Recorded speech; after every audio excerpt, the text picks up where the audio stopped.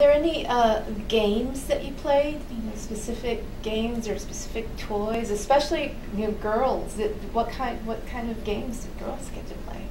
The game that I remember, the, I tell the kids these games that we used to play, and they, we were. I know. they look at us kind of funny. Y'all did that.